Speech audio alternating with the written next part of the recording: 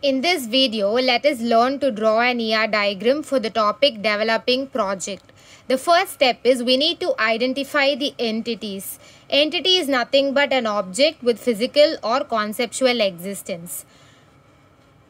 So for developing project, customer will be an entity.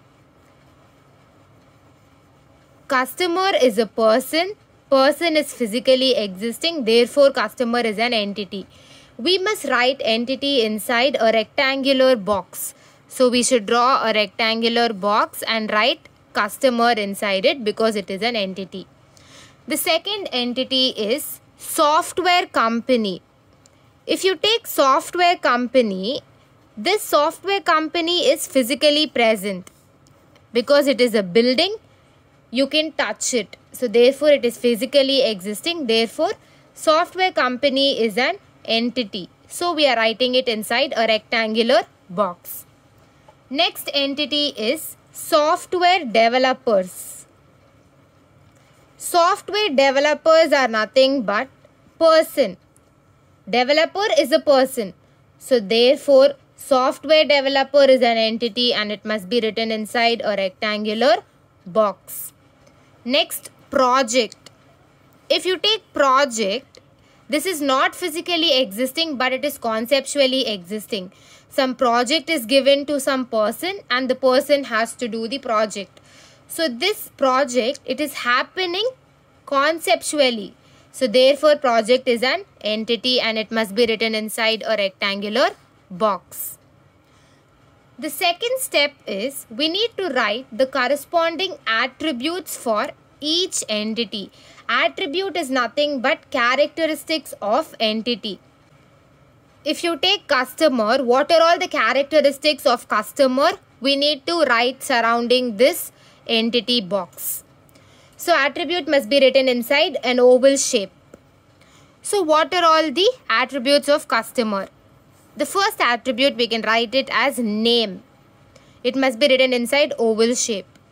This name it can be further divided as first name, middle name and last name. If you are able to divide some attribute further, here name attribute I am able to divide it further as first name, middle name and last name. Therefore, it is known as a composite attribute. Name attribute is known as a composite attribute because you are able to divide the attribute further. The next attribute is address. Address of the customer. You should write it inside oval shape. The next attribute is phone number. I should write phone number inside double oval because customer can have more than one phone number. It is not like uh, the customer is giving one phone number and telling only this is my number. The customer can even have another phone number also. So he or she can have two phone numbers also. So it is multi-value. Two, va two values are there. Two phone numbers are there. So therefore it is known as multi-value attribute. So phone number is multi-value attribute. Next is email ID of the customer. Customer can have more than one email ID, two or three email IDs also. Next, let us see the attributes of project. Project will have an ID which must be underlined because project ID will be unique for every single project. So therefore, ID is known as a primary key. Now, if you take this project, for example, if there are 10 projects, every single project among those 10 will be unique. No IDs will be repeated. So therefore ID is a primary key. So we need to underline the primary key. Next is project name. The name of the project. Next is start time of the project. So if it is starting today then that date will be an attribute. Next, end time of the project. End time means when the project ends, that time. So these are the attributes of project. Next, attributes of software developer. Software developer will have a name. Then software developer will have an address. software developer will be having an employee ID. It must be underlined because employee ID is a primary key. It will be unique for every single employee. If my employee ID is 21, the same employee ID 21, no other employee in the company will be having. Next attribute is salary, the salary of the software developer. Next, let us look at the attributes of software company. The name of the software company. Next, the location of the software company. Next, the landline number of the software company or the mobile number, any number of the software company. It must be written inside double oval because it is not necessary the software company should be having only one number. The company can also have more than one number. So it is a multi-value attribute. So you need to write it inside double oval. So these are all the attributes of the four entities customer, software company, project and software developer.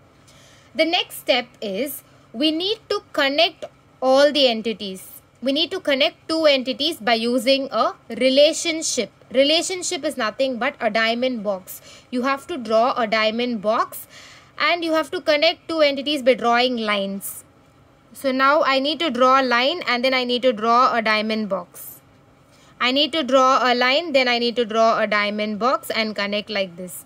I need to draw a line then diamond box and connect. Draw a line diamond box then connect this diamond box is known as relationship. So now customer, in this diamond box I have to write orders. The customer orders the project.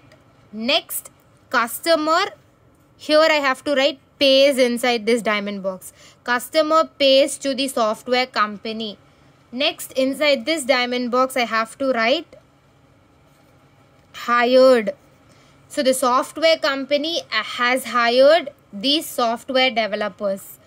Next project inside this diamond box I have to write done by. So the flow goes like this. Customer will order the project. The project will be done by the developers in the company. The company has hired these developers. That's the reason the project project is being done by the software developers. Finally, the customer will pay the money for doing this project to the software company. So this is the flow. Customer will order the project. Project will be done by the software developer. The company will hire the software developers for doing the project. Then the customer will pay to the software company for completing and giving this project successfully. So this is the flow for drawing the ER diagram for developing a project. If you like this video, please like, subscribe and share it with your friends. Thank you.